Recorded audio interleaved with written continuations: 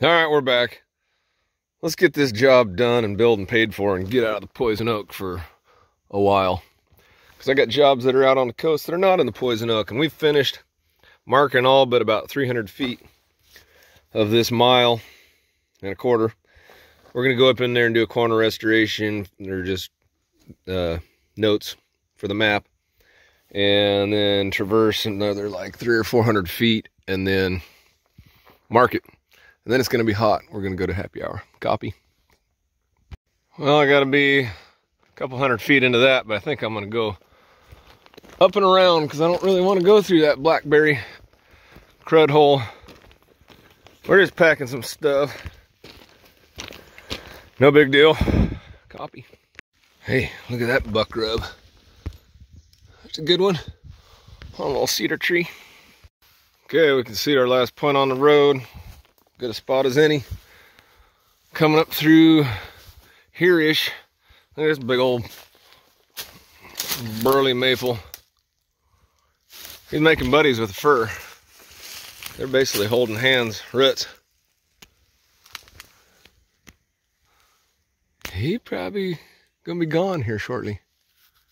We'll see. By the end of the day, we'll know what side of the line he's on. Copy.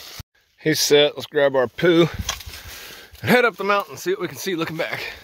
Line's going somewhere over there, but I'd really like to get up on this flat somewhere and shoot a side shot back so I can see further on the next shot, or else I'll just be on this hillside in the brush. There's no need. I got reflectorless. Don't even need this sucker. Copy. Hey, I guess it wasn't up here as far as I thought. There's the corner right there. I don't actually have to tie the corner. I just got to tie into my old control. So I already have the corner tied from it. And then we'll be marking line. Geez, just this little section. Sweet. We're gonna be getting off early today. But what? But before I set this point, I need to know that I'm not gonna hit a tree. So I guess I gotta go up there. Oh, I see blue. There's a line coming in. I'm pretty sure it's up here somewhere. I just gotta make sure for sure that I can see this ribbon from control. Also be spitting in the wind. Okay, I think this is gonna work. I just gotta hack everything. New plan. Too much backtracking. I'm just gonna see if I can set up over this cap and use it and turn up to that control we were just looking at because I know I can see it. And then, bugs. Yeah, I can set up over this guy and then tie into that from right there.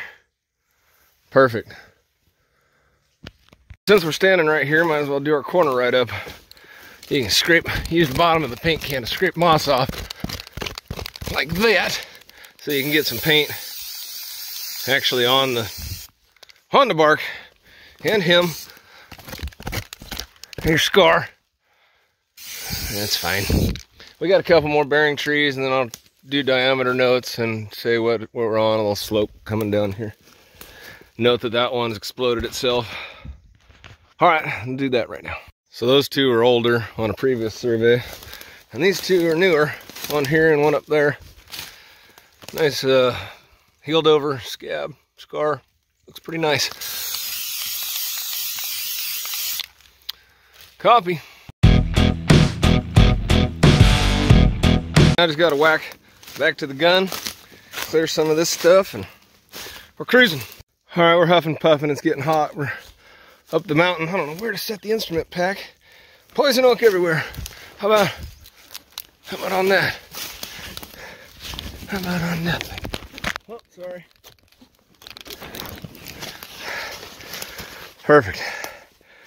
Okay, enough of me huffing and puffing into the camera. Uh-oh. Machine coming. I wonder which way they're turning. Hope I didn't park like a prick. I can't remember. He's by me. Never mind. So if I didn't mess this up, so this will see that, and that'll see the other thing.